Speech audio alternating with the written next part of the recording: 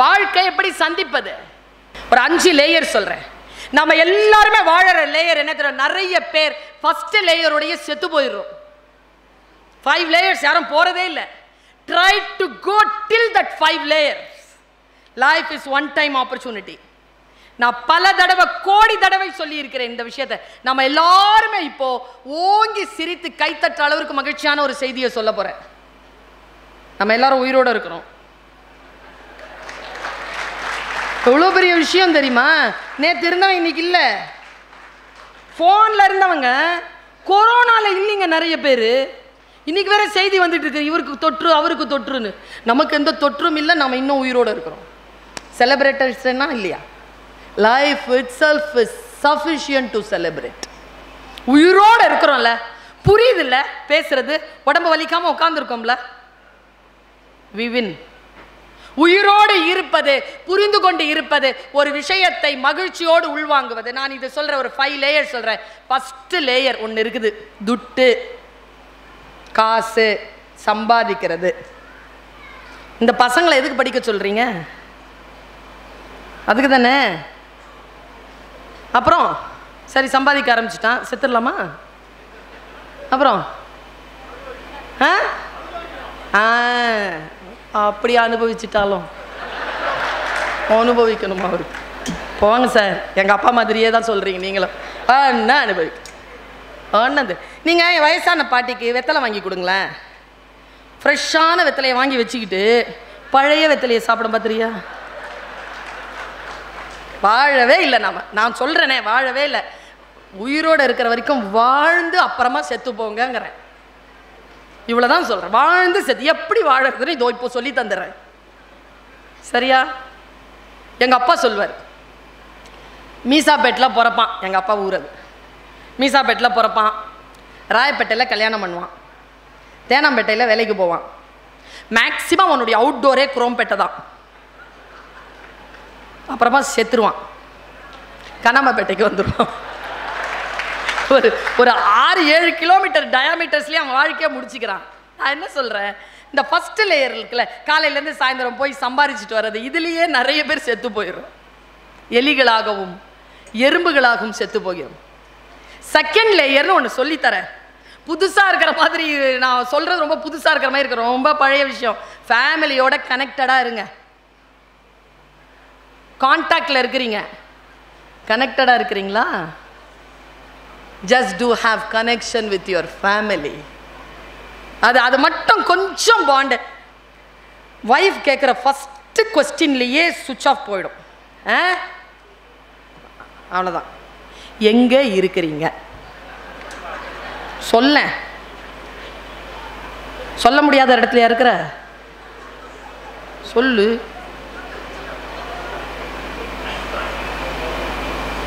Have connection with your kids have connection with your spouse. Have connection with your mother and father. Have connection with your siblings. Just கொஞ்சமாவது அவர்களோட கனெக்டடா இருங்க. சில பேர் இருக்கிறாங்க நான் என்னத்த சொல்றது? அண்ணனோட பேசாம இருக்கிறவங்களாம் இருக்காங்க. நான் ஒன்று கேட்குறேன் அப்பா அம்மாவுக்கு தெம்பு இருந்தால் தம்பி தங்கச்சி கிடைக்கும். அண்ணன் கிடைக்காது. அக்கா கிடைக்காது. முடிஞ்சுது அவ்வளோதான் நாம் பிறந்துட்டோம். இங்கே அண்ணனுங்களா இருக்கிறவங்கெல்லாம் பாவம். யாராவது அண்ணனுங்களோட பிறந்திருக்கிறீங்களா? எனக்கு ஒரு அண்ணா ஒரு அக்கா ஒரு தம்பி ஒரு தங்கச்சி. எனக்கு.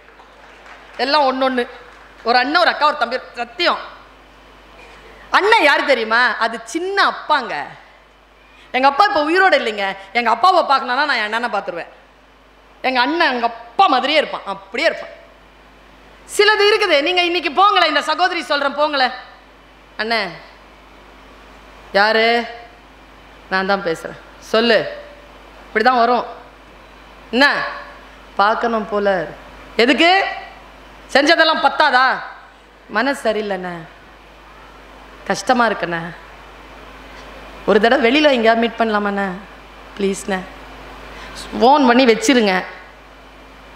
அன்றைக்கே நைட்டு இல்லைன்னா அடுத்த நாள் காலையில் வரைக்கும் காத்துருங்க. ஃபோன் வரலன்னா நான் காதை அறுத்துக்கிறேன்.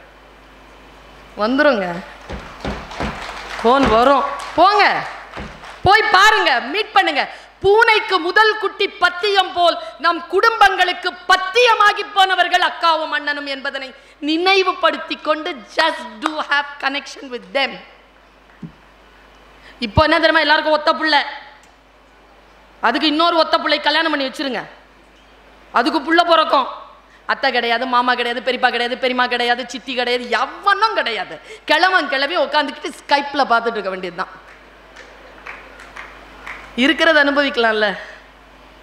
எல்லா கோபங்களையும் எடுத்து வைத்து காலம் உருண்டோடி கொண்டு have connection with your family second layer third layer சொல்கிறேன் எனக்கு தெரிஞ்சுங்க அம்மா அப்பா சண்டை போட்டுக்க கூடாதுங்க. புருஷன் பொண்டாட்டி சண்டை போட்டுக்கும். ப்ளீஸ் அந்த பொண்ணை பேச்சையே கேட்க விடாமல் அவர் நோண்டிக்கிட்டே இருக்கிறார். உனக்கு தான் சொல்கிறாங்க உனக்கு தான். அவருக்கு தெரியாதா? அது சொல்றது கூட உள்ள வாங்க முடியாதபடிக்கு வெறுப்பேத்தி விட்டுறது. நான் சொன்னேன்ல பக்கத்தில் உட்காந்துருக்கிற வாழ்க்கை சீரழிப்பாங்க. ஒரு விஷயத்த நோண்டிக்கிட்டே இருக்கக்கூடாதுங்க விட்டுறணும். நான் ஒரு விஷயம் சொல்லவா? செடி இருக்கு இல்லைங்க நீங்கள் உரம் தானே போடுறீங்க உரம் நாத்தமாக தானே இருக்கு. ஆனால் உள்ள போய் அது என்னங்க ரசாயன வேலை பண்ணுது? அதில் வரக்கூடிய மலரில் அவ்வளோ வாசனை? உறவு என்பது அப்படித்தான். கசப்பாகத்தான் இருக்கும். சில சில சங்கடங்கள் இருக்கும். ஆனால் அதிலிருந்து வெடித்து கிளம்பி வரக்கூடிய அந்த பலன் இருக்குல்ல? அதற்கு எப்பொழுதும் வாசனை உண்டு என்பதனை நம்பிக்கொண்டு குடும்பத்தோடு ஐக்கியமாக இருங்கள். குடும்பம் நம் பலம். ரெண்டாவது லேயர் மூணாவது லேயர் சொல்லிட்டு போறேன். கொஞ்சம் ஈஸ்தட்டிக் சென்ஸோட இருங்களேன். ஆபாசத்துக்கு தான் சிரிப்பீர்களா? கவர்ச்சிக்கு தான் சிரிப்பீர்களா? அழகுக்கு சிரிக்க மாட்டீர்களா? கவிதை கேட்க மாட்டீர்களா? ஒரு அழகான பாட்டு கேட்க மாட்டீர்களா? வெறும் ஓசையின் பெருக்கமா இசை? வெறும் அலங்கார வார்த்தைகளா கவிதை? அமைதியாக மழை பெய்து ஓய்ந்தவுடன் அந்த மழையில் நனைந்த ஒரு செடியை பார்த்து உன் ஆன்மா மலரவில்லை என்றால் நீ மனிதனாக பிறந்தே பலன் இல்லை என்கிறான் ரூமி. நினச்சி பாருங்க ஒரு சின்ன வைஃபை தான் பாராட்டுங்களேன் அவர் இப்படி பார்க்குறாரு. பாராட்டிட்டு அப்புறம் யார் அனுபவிக்கிறது? இருக்கிற எல்லா சர்வீஸும் நின்று போகுமே. அவன் இங்கே வச்சிருக்கணுமா அங்கே வச்சாதான். கொஞ்சம் ரசனை. நல்லா இருக்குன்னா நல்லா இருக்குன்னு சொல்லுங்களேன். நல்லா இருந்தால் சொல்ல மாட்டோமா? சொல்லித்தான் பாருங்களேன். நல்லா இல்லாததும் நல்லா ஆயிடும். அவள் சின்ன சின்ன விஷயங்களுக்காக இயங்குகிறாள். அவர் சின்ன சின்ன விஷயங்கள் ஒரு ரகசியத்தை சொல்லித்தரேன் பெண்களே. புருஷன் எது வாங்கிட்டு வந்தாலும் கம்முன்னு ஓகே சொல்லிடுங்க. அதில் கரெக்ஷன் சொன்னீங்கன்னா அடுத்த வாட்டி அந்த ஆள் வாங்கிட்டு வர மாட்டான். வாங்கிட்டு வரதே பரவாயில்லன்னு வச்சுக்கோங்க அப்புறமா கூட கூட்டிகிட்டு போங்கன்னு சொல்லுங்கள் மெதுவாக தான் பார்த்துக்கணும். நிறைய பேருக்கு தெரியாது. என்னன்னே தெரியாது. பல பெண்கள் அடி வாங்குவாங்க நான் பார்த்துருக்கேன். அடி வாங்காமல் இருக்கிறதுக்கு ஒரு உத்தி சொல்லி தரவா? ஒரு அம்மா சொல்லிச்சிங்க அறுபத்தஞ்சு வயசு ஆகுது எனக்கு. இந்த அம்மா பாட்டுக்கு இவ்வளோ பேசுது புருஷங்கிட்ட அடி வாங்காமல் இருக்கிறது எப்படின்னு சொல்ல சொல்லு. அவன் சொல்லுச்சுங்க கிருஷ்ணகிரியில் ஒரு அம்மா. சொல்கிறேன் பாருங்க கணவன் இடத்தில் எப்படி நடந்து கொள்ள வேண்டும் என்பதற்காக சொல்லுகிறேன். ஒரு கணவன் உள்ள வந்தார் நான் இப்படி தான் பேசுவேன். பேசுகிறதெல்லாம் ஆண்களுக்கு மாதிரி இருக்கும் ஆனால் பெண்களுக்காக தான் பேசுவேன். உள்ள வரார் வேகமா. ஏய் அது ஆரம்பிக்கிறதுக்குள்ள கதவை திரடினா அவன் கதவை திறந்துருச்சு அந்த அம்மா. அது ஆரம்பிக்கிறதுக்குள்ள ஃபேனை போடுங்க ஃபேனை போட்டு அது ஆரம்பிக்கிறதுக்குள்ள டிவியை போடுறீங்க டிவியை போட்டு அது ஆரம்பிக்கிறதுக்குள்ள காஃபியை கொண்டு வாடி காஃபி அது ஆரம்பிக்கிறதுக்குள்ள ஷூவை கட்டிடின உடனே அந்த அம்மா கோவம் வந்துருச்சு. என்னய்யா? என்ன? அதை ஆரம்பிக்கிறதுக்குள்ள பானை போடு காஃபி கொண்டு வா டிவியை ஷுவரை கழட்டுமா கட்டுமா உனக்கு? தொலைச்சிரும் தொலைச்சின்னு உடனே. சைலண்ட்டாக அவன் சொன்னானோ ஐயோ அது ஆரம்பிச்சிருச்சின்னு. என் ஆயுதங்களை நீயே முடிவு செய்கிறாய். குடும்பத்தோட ரசனையோடு இருக்க பழகுங்க. சரியா? மூணாவது எனக்கு நிறைய கவிதைகள் ரொம்ப பிடிக்குங்க. கவிதை பிடித்ததனால் வீட்டிலே அமைதியான சூழலை நான் வரவேற்கிறேன். நான் ஒரு யூடியூப்பில் இப்போ வந்துருச்சு நான் பேசினது வந்துருச்சு. எங்கள் வீட்டில் இந்த மாதிரி தான் கூட்டம். நான்லாம் இவ்வளோலாம் சத்தமாக வீட்டில் பேச மாட்டேன். தெரியும் எனக்கு அங்கே எப்படி பேசுறது. இந்த மாதிரி ஆறு மணி கூட்டம் முடியும்னு சொன்னால் அவர் காரில் வந்து வெயிட் பண்ணார். நான் பேசுகிற ஜோரில் ப்ரோக்ராம் முடிச்சு எல்லாருக்கிட்டையும் உட்காந்து பேசி போய்கிட்டே இருக்குது மணி ஏழு. ஐயோ இந்த ஆளை வர சொல்லிட்டு இப்படி ஆயிடுச்சேன்னு சொல்லிட்டு ஃபோனை திறந்து பார்த்தா பதினஞ்சு கால் ஐயோ மெசேஜ் மெசேஜை பார்க்குறேன். கடைசி மெசேஜ் வந்து ஒரு செகண்ட் நவுன் இருக்கு. நான் போகிறேன் என்னப்பா பதில் சொல்லலாம்? சொல்லு. போ. சொல்ல முடியாத லவ் பண்ணால் சொல்லிடுவேன் கல்யாணம் பண்ணியிருக்கேனே. சொல்ல முடியாது போன்னு சொல்ல முடியாது. யோசித்தேன் யோசித்தேன் சாரி சொல்லலாமா? செருப்படி தான் விழும். சாரி சொன்னால் செருப்படி தான். என்னடா எப்படா ஹேண்டில் பண்ணுறதுன்னு யோசித்து பார்த்துட்டு ஒரே ஒரு மெசேஜ் போட்டேன். அந்த ஆள் சொல்கிறார் போகிறேன் நான் சொன்னேன் வாங்க. பார்த்துக்கிட்டே இருந்தேங்க அடுத்து என்ன பதில் வர போகுதுன்னு வரேன். முடிஞ்சு போச்சா? பிரச்சனை அவ்வளோதான் நான் கொலவெறியோடைய சுற்றுறாங்க வீட்டில் இருக்கிறவங்க. அப்படி இல்லை. நாம் நம்முடைய அன்பை வெளிப்படுத்தி கொண்டால் இந்த ரசனை நமக்கு இருக்கிறதா? நாலாவது லேயர் கொஞ்சம் கஷ்டம்தான். உங்களுக்காக அழுவதை நிறுத்தி கொண்டு அடுத்தவர்களுக்காக கண்ணீர் சிந்த தொடங்குங்கள். இது நான்காவது லேயர் கொஞ்சம் அடுத்தவர்களுக்காக எல்லாம் உங்களுக்கே கிடச்சதுன்னா அப்புறமா இப்படி என் கிளாஸ் அம்மா அப்பா வந்து சொல்லுவோம் என் பிள்ள ஃபஸ்ட்டு ரேங்க் அப்போ மற்றவங்கெல்லாம் உங்கள் பிள்ளையே ஃபஸ்ட் ரேங்க் வாங்கினா அடுத்தவங்க? இது அடுத்தவர்களுக்காக ஃபிஃப்த் லேயர் சொல்கிறேன் to have connection with your creator நான் பிலீவராக இருந்தால் கூட இந்த இயற்கையோடு ஒரு பத்து நிமிஷம் உட்காருங்க. Just have connection with your your creator இந்த ஃபைவ் லேயர்ஸை வாழ்ந்து பாருங்களேன். ஒருத்தன் சொன்னால் நான் யோகா செய்தால் சந்தோஷமாக இருப்பேனா? நீ யோகா செய்தால் உன்னை சுற்றி இருக்கின்றவர்கள் சந்தோஷமாக இருப்பார் அதுக்கு தான் யோகா. நான் நல்லவனாக இருப்பதனால் எனக்கு ஒன்று நன்மை இல்லை. அடுத்தவர்களுக்கு பல நன்மைகள். நான் இப்படி சொல்கிறேன். இந்த சகோதரி என்ன இப்படி சொல்கிறார் என்று சொல் நான் ஃபேஸ்புக்கில் அதை எழுதியே போட்டேன். யாராவது ரொம்ப அதிகப்படியான துன்பம் கொடுத்தா மன்னிச்சிருங்க.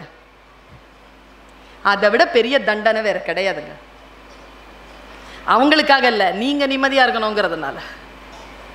இல்லைன்னா அதையே போட்டு கொடாஞ்சிக்கிட்டே இருப்போம். நான் எப்பவுமே சொல்லுவேன் நீயும் நானும் பிரிந்து விட வேண்டும் என்று முடிவானதற்கு பிறகு உனக்கும் எனக்கும் எதற்கு பகை என்ற புதிய உறவு? எதுக்கு பகை? முடிஞ்சிருச்சுல்ல. போ. அவ்வளவுதான். நான் இன்னும் ஒரு சொல்லை உங்களுக்கு சொல்லித் தருகிறேன் நான் சொல்லுவதெல்லாம் உங்கள் உலகை நீங்கள் ஜெயித்து கொண்டே வருவது. பல இடங்களில் நான் பேசி இதுதான் என் தத்துவம்.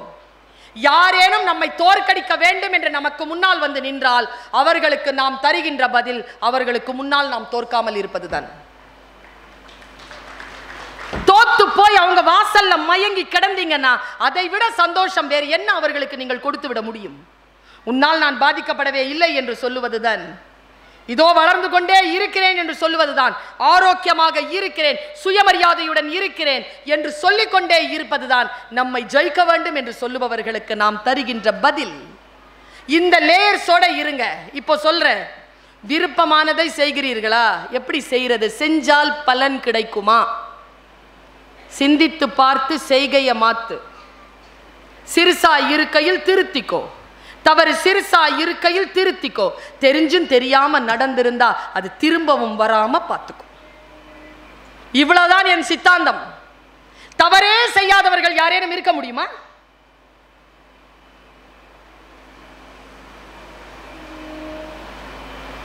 யாரும் இல்லை. ஆனால் எப்படி ஜெயிக்கிறார்கள்? தவறு செய்து ஜெயிக்க முடியுமா? ஜெயிக்க முடியாது. ஒரே தவறை திரும்ப செய்யாமல் இருங்கள். அவ்வளவுதான். ஹூவரிங்கிற ஒரு வார்த்தையை சொல்லித்தரேன் நான் சைக்காலஜியில் இப்போ ஏன் ஒருத்தர் இருக்கிறான். உங்கள் உலகை நீங்கள் வெல்வதற்கு முக்கியமாக பெண்கள் முக்கியமாக இளைஞர்கள். உங்கள் உலகை நீங்கள் வெல்வதற்கு ஒரு சைக்காலஜிக்கல் ட்ரீட்மெண்ட் ஒன்று கொடுக்குறேன். நான் சைக்காலஜி படித்தவன் இப்போ ஏ ஒருத்தன் இருக்கிறான். பி ஒருத்தி இருக்கிறா. இப்போ ஏ ஒருத்தன் இருக்கிறான் பி ஒருத்தன் இருக்கிறான். இல்லை ஏ ஒருத்தி இருக்கிறா பி ஒருத்தி இருக்கிறா. யார் வேணாலும் நினச்சிக்கோ ஏன்? மேக்ஸிமம் ஏ ஒருத்தன் பி ஒருத்தின்னு வச்சுக்கோங்க. சரியா? இப்போ ஏ ஒருத்தன் இருக்கிறான் பி ஒருத்தி இருக்கிறா ஏ பியை ஏமாத்திட்டான். ஹூவரிங் அப்படின்னு இந்த இந்த கொட்டேஷன் இந்த விஷயத்துக்கு ஹூவரிங்ன்றது பேர். வேர்ட் காயின் அது. அப்படின்னா என்ன தெரியுமா? இப்போ பிஏ ஏ ஏமாத்திட்டான். இப்போ யார் ஷேம் ஷேம்ஃபுல் மேன் யாரு? ஏ வெரி குட் ஏமாத்திட்டான். மறுபடியும் இந்த பி அந்த ஏ கிட்ட மறுபடியும் ஏமாந்தாங்கன்னு வச்சுக்கோ. அப்போ யார் shame? Very good there you are ஒன்று பார்த்தோமா?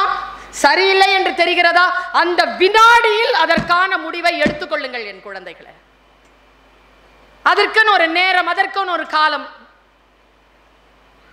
நீங்க சமாளிச்சுக்கலாம் சமாளிச்சுக்கலாம் சமாளிச்சுக்கலாம்னா தவளை மாதிரி கொதிநிலை வருகின்ற பொழுது எகிரி தப்பிக்கிறதுக்கு வழி இல்லாமல் செத்து போக வேண்டி இருக்கும் just to understand this concept நான் சொல்கிறேன் இப்போ ஒரு வெட்டிக்கிளி இருந்தது. இப்போ நான் ஒரு சொல்லிட்டேன். விரும்பியதை செய்தால் ஜெயிக்க முடியுமா? விரும்பியதை செய்தால் ஜெயிக்க முடியும் என்பதற்கான சித்தாந்தத்தை நான் தருகிறேன். பெற்றோர்கள் கவனம். உங்கள் பிள்ளைகளிடத்தில் பேசுகின்ற பொழுது கவனமாக பேசுங்கள். ஒருபோதும் நெகட்டிவ் விஷயங்களை சொல்லாது. கண்டியுங்கள். கண்டிப்பிலே தண்டனை இருக்கக்கூடாது. தண்டனை தர வேண்டும் என்று முடிவு செய்து விட்டால் மிகவும் உட்கார்ந்து யோசித்து அதன் முன் பின்கான விஷயங்களை தெரிந்து கொண்டு அந்த தண்டனையை கொடுங்கள். ஓஷோதான் சொல்லுவான் பல்லார்னு அடிக்கிறோம் குழந்தைய. அப்புறமா அந்த குழந்தைய கூப்பிடுறோம் ஏ வாடா. என்ன? தப்பு செஞ்சேன் தானே அப்பா அடித்தேன் வா போலாம். இல்லை பைக் சாவி இருக்கு எடுத்துட்டு வா. அவன் பைக் சாவி எடுத்துட்டோம் ஐஸ்கிரீம் சாப்பிட்றியாடா? வேணாம். ஆ? சரிப்பா. உள்ளே வருதா இல்லையா கூட? அம்மாக்கள் வா, அடிச்சிருக்கோம். ஏய் இங்கே வா நான் ஓடி வருதா இல்லையா? ஓஷோ சொல்கிறான் தவறு செய்யும் குழந்தைகளை பெரியோர்கள் தண்டிக்கிறார்கள். தன்னை தண்டிக்கும் பெரியோர்களை குழந்தைகள் மன்னிக்கிறார்கள் என்று எழுதுகிறார். குழந்தைகளை நேசியுங்கள் பெண்களை நேசியுங்கள் ஆண்களை நேசியுங்கள். நேசம் தவிர்த்து வேற என்ன தந்து விட முடியும்? பாருங்க வெட்டுக்கிளி ஒன்று இருந்துச்சு. அது அந்த கதையை சொல்லிடுறேன். நம்ம நாற்பது நாற்பத்தஞ்சுக்கு மேலே இருக்கிறவங்களுக்கு தெரியாது இது. கிராஸ் ஹாப்பர்னு ஒரு கதை. அது என்ன கதைனா உழைப்பின் உயர்வை சொல்லும் கதை. கிராஸ் ஹாப்பர் ஒரு கையில் ஒரு கிட்டார் வச்சுக்கிட்டு வாசிக்கிட்டே இருக்கும். அதுக்கு ரொம்ப பசிக்கும். போய் இலையை சாப்பிடும். மறுபடியும் கிட்டார் வாசிக்கும். மறுபடியும் போய் இலையை சாப்பிடும். கிட்ட இதான் வேலை.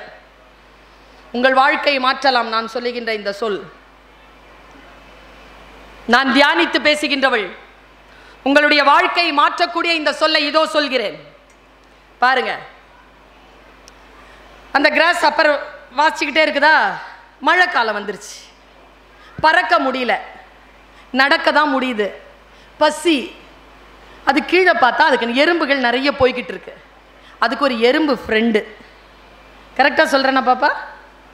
கதையை கரெக்டாக சொல்கிறேன்னா அந்த எறும்பு கிட்ட போய் அது கேட்குது எனக்கு பசிக்குது. ஏதாவது கூட. உடனே அது சொல்லுது. சோம்பேறித்தனமா? உழைக்கிற காலத்தில் உழைக்காம சேமிக்கிற காலத்தில் சேமிக்காம கிட்டார் வாசிக்கிட்டே இருந்ததுனால தான் இந்த வேலை. உனக்கு என்டர்டெயின்மெண்ட் தான் பெருசாக போச்சா? வா. நான் உனக்கு சோறு தரேன். ஆனால் ஒரு வேலை செய்யணும். என்ன?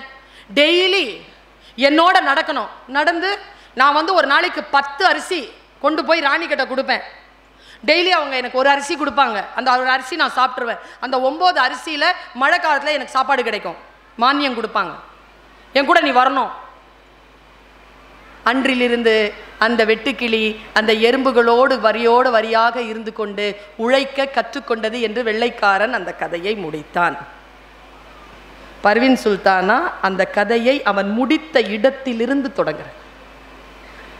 நான் தான் அந்த வெட்டுக்கிளி.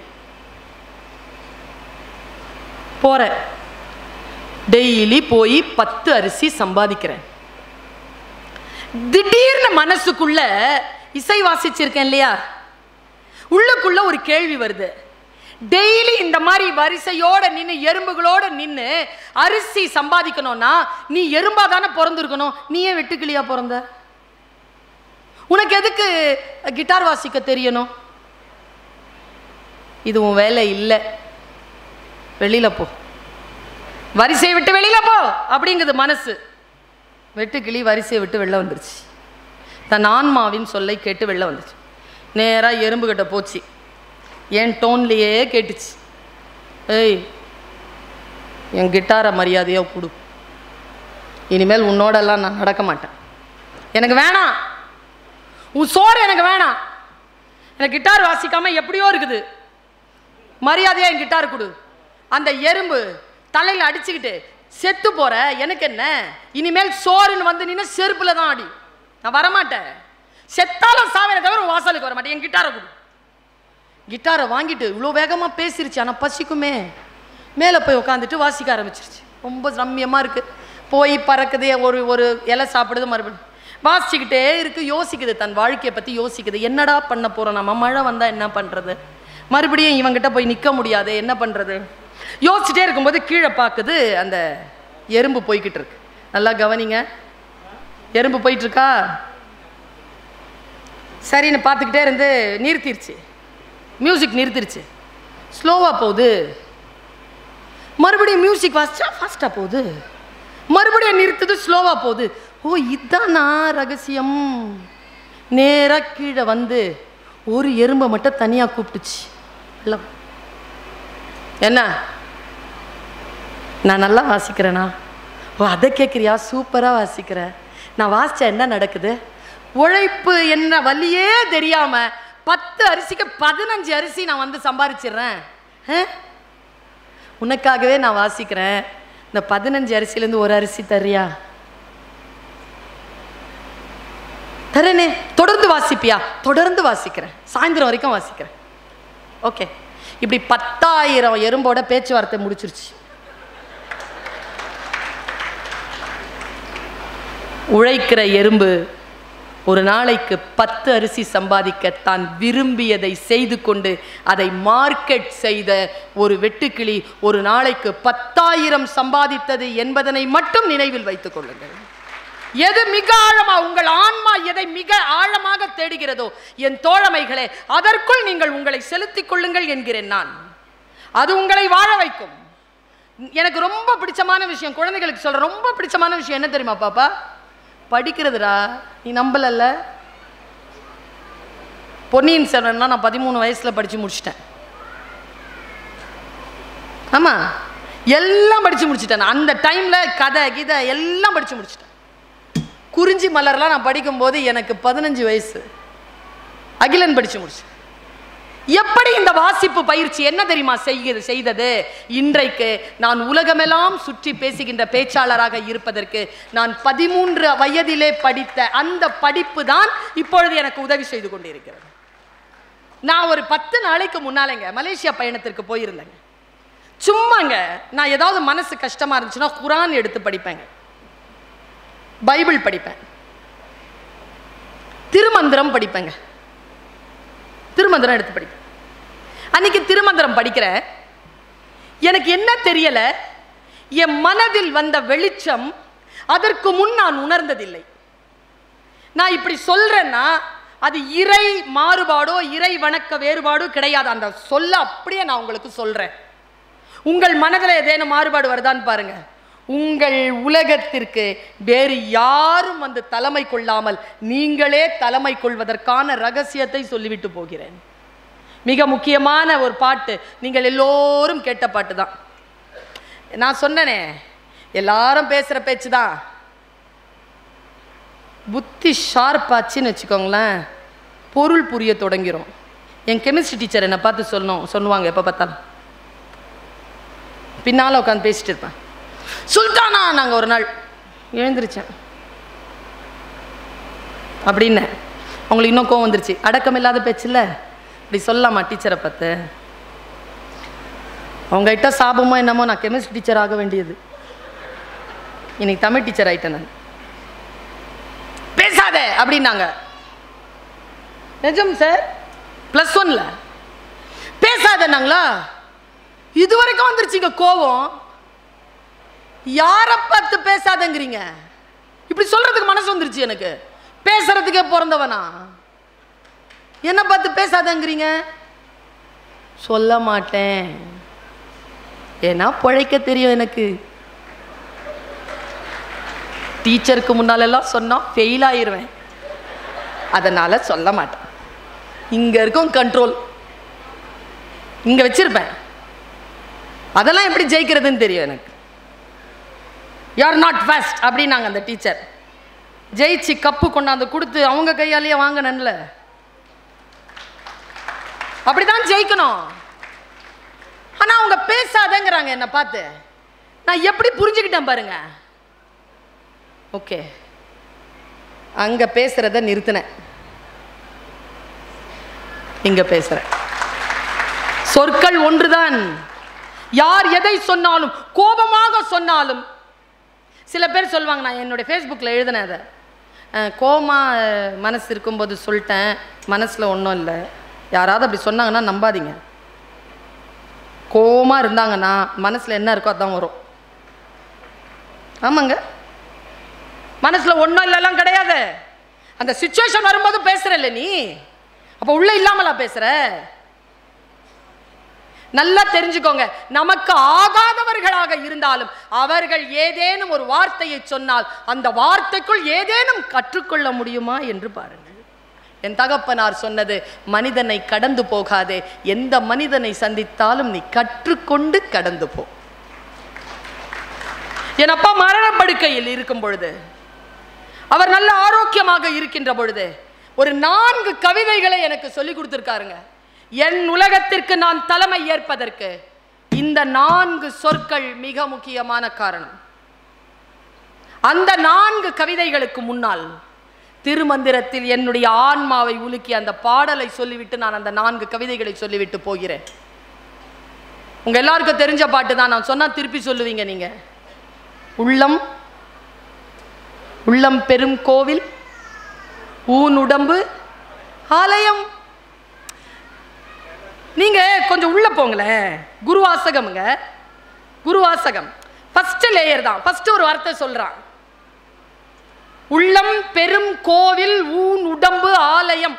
ஜஸ்ட் டு அண்டர்ஸ்டாண்ட் தட் வேதங்களை படிக்கின்ற பொழுது இலக்கியத்தை படிக்கின்ற பொழுது யாரேனும் பேசினால் கேட்கின்ற பொழுது அதனுடைய பொருளுக்குள் உங்களுடைய சிந்தனையை செலுத்துகிறீர்களா? அதற்கு பெயர் அங்கே கல்வி நிகழ்ந்து கொண்டிருக்கிறது கற்றல் நிகழ்ந்து கொண்டிருக்கிறது கடவுள் நிகழ்ந்து கொண்டிருக்கிறது. கடவுள் என்பது நிகழ்ந்து கொண்டிருப்பதுதான். அது ஏதோ ஒரு இடத்துல உட்கார்ந்துட்டு இருக்கிறது இல்லை. நிகழ்கிறது அது. குரானிலே இறைவன் சொல்லுகிறான் நான் காலமாக இருக்கிறேன் என்னை குறை சொல்லாதீர்கள். காலம் நிகழ்கிறது. இறைவன் நிகழ்கிறான். எங்க அம்மா சொன்னாங்க அங்க ஒரு வார்த்தை. இந்த உ- உ- உள்ளம் பெரும் கோவில் ஊனுடம்பு ஆலயம் சொல்றதுக்கு முன்னால சொல்றேன். இப்போ நாம ஏதோ ஒரு போட்டோ எடுக்கிறோம்னு வச்சுக்கோங்களேன். ஒருத்தன் எழுதுனாங்க சூப்பர் எனக்கு ரொம்ப பிடிச்சது. வாட்ஸ்அப் ப்ரொஃபைலில் இருக்கிற அளவுக்கு நாம் அழகும் கிடையாது. ஆதார் கார்டில் இருக்கிற அளவுக்கு நம்ம அசிங்கமும் கிடையாது. உண்மை தானே? உண்மைங்க அது. எங்கள் அம்மா சொன்னாங்க நான் யார் ஏதாவது ஒரு ஒரு செல்ஃபி எடுக்கணும்னா ஏதோ ஒன்று ஃபோட்டோ எடுக்கணும்னா எவ்வளோ முகத்தை சரி பண்ணிக்கிறோம்? ஏன் ஒரு கேமரா இருக்கன உடனே சரி பண்ணிக்கிறோம்னு எங்கள் அம்மா சொன்னாங்க. ஒரு கேமரா வந்த உடனே உன்னை நீ சரி பண்ணிக்கிறியே. இருபத்தி நாலு மணி நேரமும் ஒரு கேமரா நம்மளை பார்த்துக்கிட்டே இருக்கு. அதற்கு பேர் கடவுள். ஞாபகம் வச்சுக்கோ. ஒன்று நம்மை பார்த்து கொண்டே இருக்கிறது. நம்ம எவ்வளோ ஒழுக்கமாக இருக்கணும். அந்த கேமரா எப்பவுமே ஆன்ல இருக்கு. உள்ளம் பெரும் கோவில்ங்க இது. இதுல தீய எண்ணங்களை போட்டுக்கொள்வதற்கு நமக்கு தகுதி கிடையாது. ஓஷோ சொல்கிறான் நுண்ணறிவாளர்கள் சூழ்ச்சி செய்வதில்லை. சூழ்ச்சி செய்வதற்கு நுண்ணறிவு தேவையில்லை. முட்டாள்களே சூழ்ச்சி செய்கிறார்கள். புத்திசாலித்தனமே போதுமானது. உள்ளம் பெரும் கோவில் ஊன் உடம்பு ஆலயம். இது ஆலயமா இருந்தா இந்த உள்ளத்திலேயோ இந்த உடல்லையோ அழுக்கு சேர விடுவோமா? தூய்மையற்றதை செய்வோமா? தூய்மையற்றதை பேசுவோமா? உள்ளதான் போடுவோமா? வெளியில தான் சொல்லுவோமா? இங்க பாருங்க இந்த வாயை மட்டும் சிறப்பா சொல்றார். உள்ளம் பெரும் கோவில் ஊன் உடம்பு ஆலயம் தெள்ள தெளிந்தார்க்கு வள்ளல் பிரானாருக்கு வாய் கோபுர வாசல். ரெண்டாவது வரி. வாய் இருக்குல்ல இதுதான் கோபுர வாசலாம். நல்லது தான் சாப்பிடணும் நல்லது தான் பேசணும். ரெண்டு விஷயம். கோவில் வாசல் இது. கவனம். இன்னொன்று சொல்கிறேன் அடுத்த வார்த்தை இருக்குல்ல தெள்ளத் தெளிந்தார்க்கு. சீவனே சிவலிங்கம். உன் ஜீவன் தான் சிவலிங்கம். சிவலிங்கம்க்கு பதிலாக நீங்கள் எந்த கடவுள் பேரையும் போட்டுக்கொள்ளுங்கள். தெள்ள தெளிவு வந்து விட்டால் உங்கள் சீவனுக்குள் சிவலிங்கம் வந்துவிடும். ஆ இந்த மூன்றும் நடந்து விட்டால் கள்ள புலன்கள் இருக்குல்ல? இந்த அஞ்சு புலன்களும் கள்ள புலன். ஐந்தும் காடா மணி விளக்கு. நாம் செய்யக்கூடிய அத்தனைக்கும் சாட்சியாக அது நிற்கும் என்று சொல்லுகிறான் திருமூலன். நான் இதை வாசிக்கின்ற பொழுது என் வயது சிறியதாக இருக்கின்ற பொழுது என் புரிதல் வேறாக இருந்தது. இன்றைக்கு வயது கூட கூட என்னுடைய வாழ்க்கையினுடைய திசையை நோக்கி இந்த சொற்கள் என்னை செலுத்துகின்றன. அப்பா மரணப்படுக்கையில் சொன்ன வார்த்தை காலத்திற்கு பயந்துகொள். காலத்தின் இயல்பு எப்பொழுது மாறும் என்று தெரியாது. காலமே இரவு காலமே பகல். அதுக்கப்புறம் மூன்று மணிக்கு அப்புறமா அப்பா இறந்துட்டார். கடைசி வினாடியில் அப்பா சொன்ன வார்த்தை இன்னொரு வார்த்தை சொல்ற துரோகம் இருக்கு இல்லைங்க? சில பேர் சட்டுன்னு துரோகம் பண்ணிடுறாங்க பார்த்துருக்கீங்களா? சட் யோசிக்கிறதே இல்லைங்க. அப்பா சொல்றார் தகா கிசி கா சகா நகி करना है तो कर देखो அதாவது துரோகம் யாருக்கும் சகம் இல்லையா சகம்னா கூட இருக்காதா நட்பு கிடையாதாம் துரோகம் செய்கின்றவர்களுக்கு துரோகம் தோழமை கிடையாது दगा किसी का सगा नहीं है करना है तो कर देखो செய்யணுமா செஞ்சு பாரு ஜிஸ்னே ஜிஸ்னே தகா கியே हैं யாரெல்லாம் அந்த துரோகத்தை செய்தார்களோ ஜாக்கே உன்கே घर देखो போய் அவர்கள் வீட்டை பார் பயமாக இருக்குங்க. சொல்லிலே எனக்கு அந்த சூட்சுமத்தை அந்த அக்கினியை வைத்து அப்பா சொல்கிறார் இந்த சொல்லை. இன்னொரு ஒரு கவிதை சொல்கிறேன். உங்களுக்கு தேக்கவே இல்லை வீட்டில் எடுத்துட்டு போகிறதுக்காக சுயமாக அப்படி எழும்பி நிற்க வைத்து உங்களை அப்படியே உலுக்கி இந்த உலகத்திற்கு தலைமைத்துவம் செய்வதற்காக அப்படி தூக்கி நிறுத்துறேன் ஒரு சொல். நகர் கிசி கே ஜர் சே படுக்கர் ஹெலோ வஃபா கபி யாருடைய விசுவாசம் யாரிடத்திலும் அவர்கள் தகுதிக்கு மீறி விசுவாசமாக இருந்துராத ஐயோ யார் சொல்வார்கள் இந்த வார்த்தையை? எங்க அம்மா சொன்னாங்க இந்த வார்த்தையை. எனக்கு விளங்குற மாதிரி சொன்னாங்க. வெளியில வாசல்ல பிச்சைக்காரன் இருக்கிறானா? அவனுக்கு பிச்சை போடு பிரசாதத்தை போடாத. அந்த பாத்திரத்துல நீ போய் உக்காந்துக்காத. அதுக்கு பசிக்கு சோறு அதை போடலாம் பிரசாதமோ நீயோ போய் அந்த பிச்சை பாத்திரத்தில் விழ வேண்டிய அவசியம் கிடையாது நாக்கர் கிசி के जर्फ से बढ़कर रहलो वफा कभी इसी बेजा तकल्लुफ से बड़ा नुकसान होता है என்ன அர்த்தம் தெரியுமா யாருடைய தகுதிக்கு மீறியும் அவரிடத்தில் விசுவாசமாய் இருந்து விடாதே இப்படிப்பட்ட கட்டுப்பாடற்ற பெரும் போக்கினால் மிகப்பெரிய நஷ்டத்தை சம்பாதிப்பாய் பா என்ன சொல் இதெல்லாம்? இதை சொல்வதற்கு இன்றைக்கு அப்பா இல்லை. ஆனால் அப்பா சொல்லிவிட்டு போன சொல் இருக்கிறது. உங்கள் அத்துணை பேருக்கும் சொல்கிறேன். வேதத்தில் இருந்து ஒரு வார்த்தையை சொல்லி நான் நிறைவு செய்கிறேன். பைபிள். பைபிள் ஒரு வார்த்தையை சொல்கிறது. தகப்பன்மார்களை பார்த்து சொல்கிறது. மகன் இருக்கிறானா உங்கள் வீட்டில்? பிரம்பு எடுக்காதவன் மகனை பகைப்பான். கண்டிப்பு தேவை. ஆ இங்கே நிறுத்துறேன். உடனே வீட்டில் போய் குச்சி எடுத்துடலாமா? குச்சி வேலை செய்யுமா? குச்சி வேலை செய்யாது. எப்ப வேலை செய்ய தெரியுமா? என் தகப்பன் திருட மாட்டான். என் தகப்பன் பொய் சொல்ல மாட்டான். என் தகப்பன் என் தாயை தவிர வேறு யாரோடும் அந்த உறவை வைத்துக் கொள்ள மாட்டான். என் தகப்பன் யாரிடத்திலும் கடன் பெற மாட்டான். என் தகப்பன் எனக்கு ஹீரோ என்று சொல்லக்கூடிய ஆற்றலை எந்த குழந்தைக்கு ஒரு தகப்பன் தருகிறானோ அவன் கையிலே பிரம்பு எடுத்தால் மகன் நட்பாவான். பிரம்பை எடுக்காதவன் மகனை பகைப்பான். குரானிலே ஒரு சொல் இருக்கிறது. அதுவும் ஆண்களுக்கானது தான் சில பேர் சொல்லுவாங்க என் பொண்டாட்டியை திருத்தவே முடியறது இல்லைங்க நானும் திருந்துவா திருந்துவா திருந்துவான்னு பார்க்குறேன். அவ திருந்துறாளே இல்லை. குரான் சொல்லுகிறது அவள் உன் விழா எலும்பிலிருந்து உருவப்பட்டவள். அது வளைவாத்தான் இருக்கும். நேராக்க முயற்சி செய்யாதே. உடைந்து விடுவாய் அவள் அல்ல நீ ஏனென்றால் அது உன் விழா எலும்பு விழா எலும்பு கொஞ்சம் வளைவாத்தான் இருக்கும் எது எப்படி இருக்க வேண்டுமோ அது அப்படித்தான் இருக்கும். யாரையும் எந்த காலத்திலும் மாற்றிட முடியாதுங்க. மாற்ற முடியும் என்று சொன்னால் அவர்களாக முடிவு செய்யாமல் ஒரு விஷயத்தை ஒரு மனிதன் மாற்ற முடியாது. உங்களுக்குள் அந்த மாற்றம் நிகழ வேண்டும் என்பதற்காகத்தான் இத்தனை புத்தகங்களும் இத்தகைய பேச்சுகளையும் இந்த நிர்வாகம் முன்னெடுத்திருக்கிறது. வாய்ப்புகளை பயன்படுத்தி கொள்ள வேண்டும். நம்முடைய வாழ்க்கையில் பல பேர் நாற்பது வயதிலேயே செத்து போகிறோம். புதைப்பதற்குத்தான் அறுபது எழுபது ஆண்டுகள் ஆகிவிடுகின்றன என்கிறார் பெர்னாட் ஷா. அப்படி இறந்து போகாமல் வினாடிகளினுடைய கடைசி துளி வரைக்கும் உயிர் பிரிகின்ற அந்த நேரம் வரைக்கும் கற்றலில் ஈடுபட்டு நம்முடைய வாழ்க்கையை நாம் செலுத்தக்கூடிய அந்த ஆற்றல் பெற்றால் அந்த வையத்தை நம் உலகம் என்று சொல்லுகின்ற இந்த வையத்தை நாம் தலைமை கொள்ளுவோம் என்று சொல்லிக்கொண்டு வாய்ப்பளித்தமைக்கு நன்றி பாராட்டி இடம் சார்கிறேன். நன்றி. வணக்கம்.